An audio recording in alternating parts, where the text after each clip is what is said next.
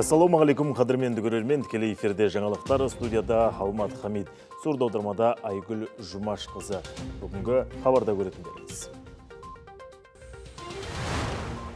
Елімізде ұлттық бірыңғай тестілеу жүріп жатыр. Алғашқы күнінде түлектердің 68-де 3 пайызы шекті балл жинады. Ұлттық бірыңғай тестілеудің нәтижелері соңғы нәтижелері тамыз айында нақты болады. Талдықорғанда биыл 27 көп қабатты үй ауласы жасалады. Оның 14-і жұмыспен қамтудың жол картасы аясында. Жоба бойынша қолданысқа беру мерзімі 2020 жылдың қазан айы еңбекке сай марапат жетісулық 10 ерікті елбасы нұрсұлтан назарбаевтың арнайы алғысын алды. Достар құттықтап отырыңыздар бір бірлеріңізді қолдап отырыңыздар. Марапаттарыңыз құтты болсын. Елбасының жағдайы қалыпты. Қазір өзін жақсы сезінеді. Бұл туралы тұңғыш президенттің баспасөз хатшысы Твиттер парақшасында хабарлады. Елбасының барлық жедел хаттарды және мемлекеттер мен түрлі ұйым басшыларынан келген хаттарды оқиды. Нұрсұлтан Назарбаев үшін барлық хат бірдей құнды. Азаматтардың бірлігі мен олардың мейірімге толы шынайы тілектері тұңғыш президентке күш қуат береді деп жазды Айдос Үкібай. Сондай-ақ ол Нұрсұлтан Әбішұлының денсаулық жағдайы үнемі дәрігерлердің бақылауында ел тұрғындарының алаңдауына негіз жоқ. Елбасы қашықтықтан жұмыс істеуді байланыс құралдары арқылы жалғастыруда екенін ескертті.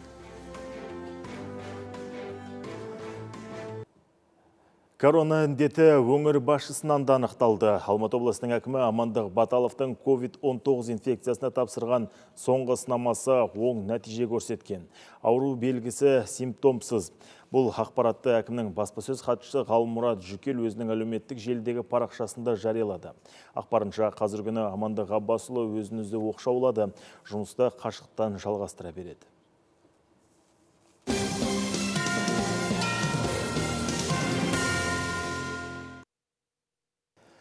Ерікті болу ерлікпен тең. Жетісулық жастар жыл басынан 2300 елеулі іс атқарыпты. Яғни түрлі қайырымдылық шарасын өткізген. Төтенше жағдай мерзімінде олар 15 мың отбасыға азық түлік жеткізіпті. Осындай қоғамға көмек қолын созып жүрген өңірдің 10 еріктісі елбасы Нұрсұлтан Назарбаевтың арнайы алғысына лайық деп танылды. Атаулы марапатты еріктілерге облыс әкімінің бірінші орынбасары Ләззат Махатлы табыстады достар құттықтап отырыңыздар бір бірлеріңізді қолдап отырыңыздар марапаттарыңыз құтты болсын Алматы облысында төтенше жағдай басталғалы еріктілер қатары еселенді. Саны 2000-нан асты. Олар тек қажеттіліктерді жеткізумен шектелген жоқ. Тіпті өз қолдарымен медициналық бетперделер тікті. 62 мыңнан аса масканы тұрғындарға тегін таратты. Сондай-ақ волонтерлар тек облыс тұрғындарына көмек көрсетумен шектелмеді не осталось без внимания волонтеры ситуация еріктілердің назарынан асыл арман тұрғындары да тыс қалмады. Олар 20 мыңнан аса тұрғынға азық түлік пен бірінші қажеттіліктерді жеткізді. Сондай ақ мақтаралдағы жағдайға да бейжай қарамады. Жетісулық жастар осындай нәтижелі іс атқаруда. Еңбегіне сай марапаты. Олар тұңғыш президенттің алғысын алды. Бүгінгі біздің осы елбасының елеп беріп отқан марапаты біздің ары қарай еркілікпен айналысуға деген жігерімізді арттырады деген сенімдеміз сенім білдіріп отырмыз. Сондықтан да осындай алғыс хатқа алғысымызды білдіріп ары қарай да осы жастарды белсенділікке еркілікке тартып көптеген жұмыстарды атқаруға дайынбыз. Алматы облысында елбасы бастамасы біз біргеміз науқаны аясында еріктілер жұмысы белсенді. Партия мүшелері мен мәслихат депутаттарының қолдауымен 24 мың адамға азық түлік жеткізілді. Әлеуметтік көмекке 253 миллион теңге қаржы жұмсалған. Меруерт қыдырбайқызы жасұлан шымкенже жетісу телеарнасы. Талдықорғанда 27 үй аула маңы жаңа кейіпке енбек. Оның 14-і жұмыспен қамтудың жол картасы аясында іске аспақ. Облыс орталығындағы оң істер жайлы тілші бейне сюжетінен көрейік. Бұл Жансүгір көшесінің оң жақ бетіндегі көп қабатты тұрғын үйлердің бірі. Мұндағы ауланың жөндеу көрмегеніне біраз жыл болған. Үй маңындағы жаяу жүргіншілер жолы ойық-ойық, балалар алаңы болмаған. Тіпті аяқ бүгер орындықта жоқты. Таяуда жұмыспен қамтудың жол картасы аясында жөндеу жұмыстары басталған.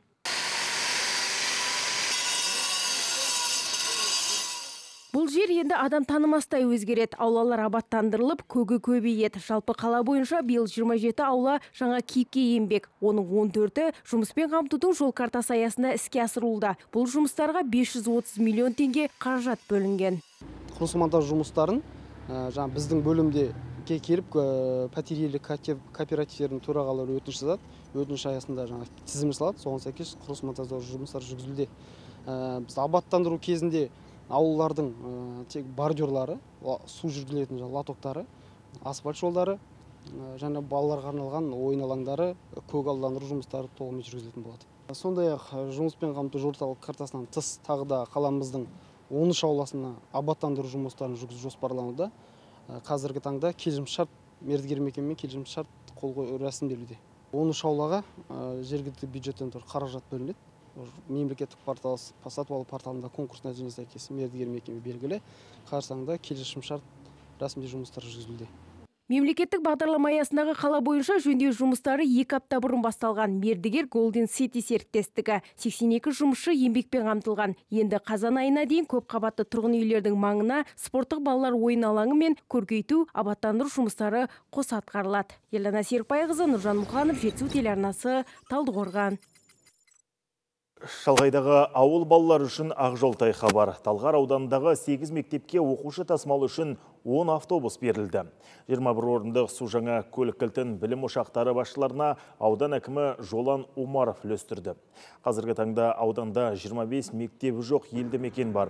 Оларда 2526 бала күнделікті ауыларалық қатынаумен оқып жүр апта басындағы жаңалық оқушылардың ғана емес ата аналардың да көп жылғы күрмеулі мәселесі бүгін оң шешімін тауып көпті қуанышқа кенелтті жалпы автобустарды сатып алу үшін өңір қазынасынан 133 миллион теңге бөлінген.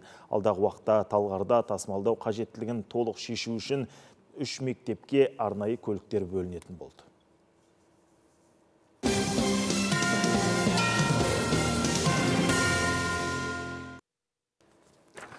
Ұлттық бірыңғай тестілеудің бірінші күні республика бойынша 73 түлек сынға жіберілмеді. Оның екеуінің қызуы жоғары болған.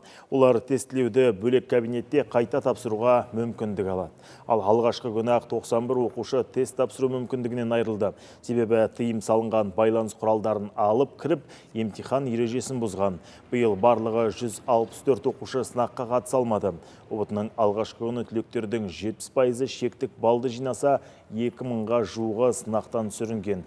Әзірше ең жоғарғы 138 балды Түркістан облысы Ордабасы ауылының оқушысы жинап отыр.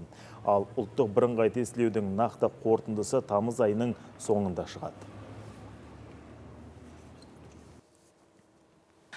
Жалпы ұлттық бірыңғай тестілеудің нәтижелері соңғы нәтижелері тамыз айында нақты болады. Өйткені ағымдағы жылы норма енгізілді. Сол нормаға сәйкес ұлттық тестілеу орталығы 25 тамызға дейін барлық тестілеу барысындағы бейне жазбаларға талдау жүргізетін болады арнайы бағдарламаның көмегімен. Яғни бұл ретте егер э, тестілеу барысында тестіленуші тыйым салынған затты анықтаған э, тыйым салынған затты пайдаланғаны анықталған жағдайда олардың нәтижелері жойылады. Сәйкесінше егер ол мемлекеттік білім беру грантының иегері болатын болса онда гранттың нәтижесі де жойылуы мүмкін. Бүгін жетісулық түлектердің екінші легі білім бәйгесінен өтті. 1143 оқушы 11 жыл оқыған тоқығанын 4 сағаттық таразға салды. Ал алғашқы күні 9 оқушы телефонмен ұсталып, бір жылға тестілеуден шеттетілді. Тағы бесеуі денсаулығына байланысты сынаққа қатыса алмаған. Жалпы биылғы тестілеу өзгеше аудиториялық толмайды. Әр пункт 50 түлек қабылдайды бір үміт бір күдік қорқыныш басым. Таң ата университет алдына жиналған әрбірінің жүзінен қобалжу байқалады. Бұл жолғы сынақ алдындағы талап бұрынғыдан басқа. Қатысу тәртібі бөлек. Тек тыйым салынған заттар ғана тексеріліп қоймайды. Денсаулығы да қаралады. Дене қызуы өлшенеді санитайзерден өтеді. Жаңа бетперде қолғап үлестірілген соң барып аудитория үстеліне жайғасуға рұқсат. Қобалжу болып тұр енді. Бірақ ондайдан қорықпау керек. Енді өзіне сенімді әрқашанда болу керек. Үлкен өмірге деген алғашқы қадам бұл. Жақсы тапсырып шығуға өзіме сенімдімін. Дайындық жақсы негізі онлайн курстар болды яғни мұғалімдер сөйтіп сабақ өткізетін. Ал бұл Face ID арқылы тексеріс биыл бірыңғай сынаққа алғаш рет қолданылып отыр. Жаңа техника оқушының бет жүзін түр әлпетін сканерлейді. Егер оқушының өзі болмай, орнына басқа біреу кірген жағдай болса, онда бір жылға дейін тестілеуден шектетіледі. Өткен жылы елімізде дәл осындай 150 жағдай тіркелген, ал алғашқы екі күннің ішінде ақ Алматы облысында тоғыз оқушы талапты бұзып тестілеуге кірмей есіктен қайтты. Барлығы да айласын асырып телефонын жасырып кірмекші болғандар. Биылғы тест тапсырушыларға үлкен мүмкіндік берілді ғой. Қашықтан оқытуға байланысты төртінші тоқсанның оқу бағдарламасы енгізілген жоқ. Уақыты үш сағат елу минуттан қосымша он минут қосылды балаларға. Енді мынау Бұл жолы тестілеудің алдын торып, тақым қысып жүрген ата-аналарға да талап басқа. Топ болып жиналып, түске дейін баласын тосуға рұқсат жоқ. Сақты шаралары барынша сақталуы тиіс. Күзден бері дайындалып жатырмыз. Дайындығы енді жақсы болды деп ойлаймын енді. Аман есен кіріп шықты, тапсырды. Енді көңіл күйіміз пока енді қобалжып тұрмыз.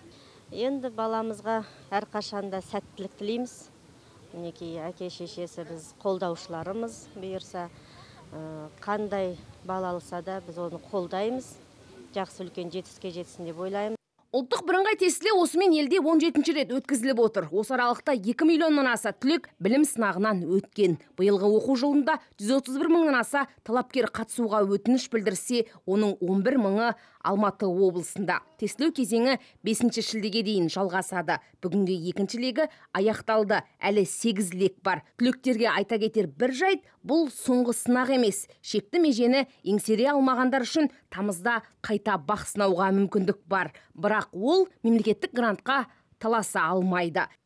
Кабжат Мұхамеджан, Надир Хамзин, Жетсу арнасы, Талдықорған. 223 қапшағайлық түлек ұлттық бірыңғай тестілеуге қатысады. Кеше үмітін үкілеген алғашқы лек тест тапсырды. Жалпы қапшағай қаласында биыл 285 оқушы 11 сынып бітірді. Оның 78 пайызы бағын мен білімін сынамаққа өтініш берген. 31-і алтын белгі, 16-сы үздік аттестат егеріне үміткер. Айтпақша санитарлық тазалық заласыздандыруға бөлінген 10 минут уақыт мұнда да тиімді ұйымдастырылды.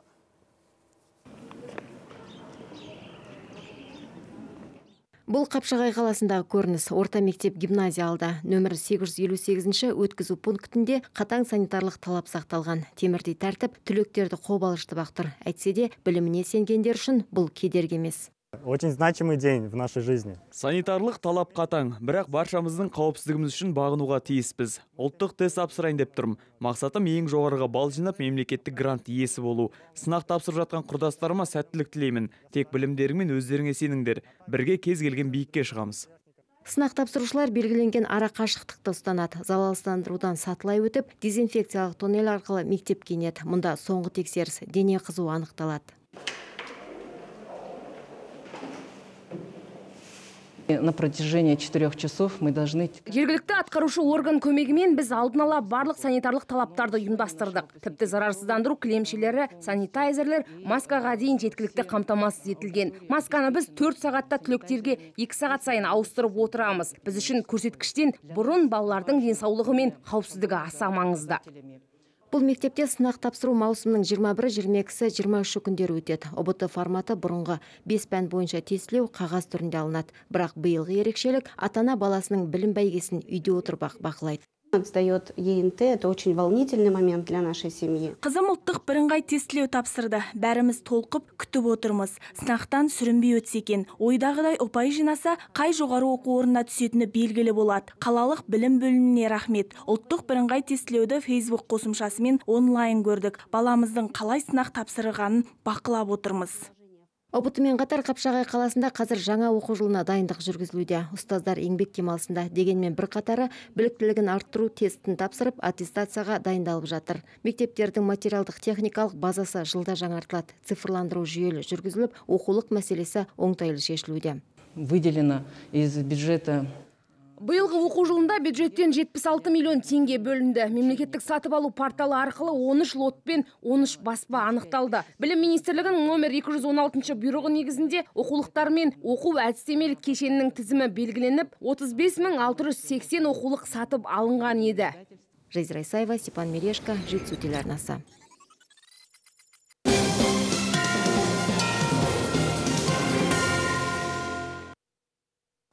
Әлемде 8 миллион 800 мыңнан аса адам коронавирус жұқтырған. Дүниежүзілік денсаулық сақтау ұйымының мәліметінше індеттен 463 мың адам көз жұмған. Дәрігерлер 4 миллион 700 мыңнан аса науқасты айықтырып қатарға қосыпты. Жаһан жаңалықтары келесі топтамада. Ақшта пандемияға байланысты фитнес залдарда пластик бокстар қойылды. Бұл вирустың келушілерге жұғып кетудің алдын алу мақсатында ойлап табылған шара. Яғни спортшылар бір бірінен арнайы қоршаулар арқылы бөлініп тұрады. Бұл өз кезегінде дерттен толық қорғамаса да адамдар өздерін қауіпсіз сезінеді дейді комплекс иелері. Ондағы жаттықтырушылар қазір медициналық бетпердемен сабақ беріп жатыр. Украинада карантин режимін жұмсартудың төртінші кезеңі басталды. Осыған байланысты Киевте саябақтар, көрмелер және ойын алаңдары ашылып жатыр. Тұрғындардың құрметіне ел астанасында жануарлардың мүсіндері қойылған көрме ұйымдастырылды. Үшті саябақта өсімдіктерден жасалған жабайы аңдарды көруге болады. Алайда келушілерге дезинфекция тәртібін бетперде тағып, әлеуметтік арақашықтықты сақтау талап етіледі. Айта кетейік, бүгінде елде 35 мың адамнан коронавирус коронавирус инфекциясы тіркеліп отыр дерт басталғалы мыңға жуық адам көз жұмған Жапониялық мамандар коронавирусты адам бойынан жылдам анықтайтын тест дайындап шығарды. Оны Шайнаджи фармацевтика компаниясы өкілдері ұсынып отыр. Жаңа әдістемені Нихон Гумма және Токио медициналық университеті зерттеушілері әзірлеген. Ол 30 минут ішінде инфекцияның бар жоғын анықтай алады. Топтаманы ғаламтор ақпараттармен дайындаған Амина Құдайберген жетісу арнасы. Мақсаты береке бірлікті насихаттау. Алматы облыстық журналистер және сарапшылар клубының құрылғанына биыл 10 жыл. Қазақстан Халқы Ассамблеясы жанынан құрылған ұйым осы уақыт аралығында 40-тан аса түрлі форматтағы форум шеберлік сағаты мен кездесулер өткізіпті. Айта кету керек, өңірдегі кәсіби мамандардың басын қосқан бұл құрылым республикалық ұйымнан кейінгі алғашқы аймақтық клуб. Бүгінгі таңда атаулы ұйымға республикалық және аймақтық бұқаралық ақпарат құралдарының жетекші журналистері, сондай-ақ сарапшылар санатында этномәдени бірлестіктердің өкілдері мүше. Клуб төрағасы Ацали Медиговтың айтуынша бұл орталық журналистика мектеп ретінде құрылған. Негізгі мақсаты толеранттылық пен патриотизмді нығайту, ұлтаралық және конфессияаралық келісімді арттыру мен патриотизмді дәріптеуге бағытталған. может быть, что-то надо. Национальная политика – это очень тонкая сфера. Ұлттық саясат бұл өте нәзік сезімтал сала, әрі арқалар жүгі де өте ауыр. Бір ғана аңдамай айтылған сөз ұлтты қорлауы мүмкін саясат туралы жазу үшін журналисте үлкен дайындық болу қажет. Кәсібилік міндетті. Ол адами тұрғыдан жаны жүрегі таза адам болуы мүмкін. Алайда саясат жайлы тақырып қозғарда құндылықтан бөлек жан жақтылық қажет. Абайға апарар жол. Алматылық энтузиаст еріктілер Абай Құнанбаевтың туған өлкесіне жаяу сапарға шықты. Олар бұл экспедицияны ақынның 175 жылдық мерейтойына және волонтерлар жылына арнап отыр. Шығысқа бет алғандар бүгін Талдықорғанға аялдады. Олар облыс орталығына 9 күн бойы жүріп келіпті. Еріктілер күніне шамамен 25-30 шақырым жүріп отырған. Экспедиция толығымен 40 күнге созылады деп жоспарлануда. Осы уақыт ішінде еріктілер Құнанбайұлының туған жері Жидебайға, ондағы данаға арналған музейге экскурсия жасамақ. Сонымен қоса Семейдегі ақын оқыған медреселер мен мұражайларды аралап көрмек. Осылайша экспедиция мүшелері Абайдың өмірі мен шығармашылығын зерттеп рухани азық алмақ наша основная задача посетить мавзолей великого Абая Кунанбаева, где был... Біздің басты мақсатымыз Абай мавзолейіне жету. Ұлы ақынымызға қатысты мұражай ескерткіштерді барлығын көзбен көргіміз келеді. Бізден бәрі сұрайды, неге көлікпен, велосипедпен шықпадыңдар деп. Жаяу жүрген мүлден бөлек, әлемді басқа қырынан танисың. Қиындықтарды еңсеріп келеміз. Оңай емес. Өйткені біз кәсіби спортшылар емеспіз. Жаңбыр жауып, қатты жел тұрғанда көпірлерді, аялдамаларды ықтадық. Барлық құрал жабдықтарымыз бар. Тамақты да өзіміз пісіреміз. Жол бойы тұрғындар бастамамызға қолдау білдіріп суларын ұсынады тамақтандырып жатады. Қадірменді көрермен бүгінгі айтар ақпарат осы. Келер күні қауышайық. Аман сау болыңыздар.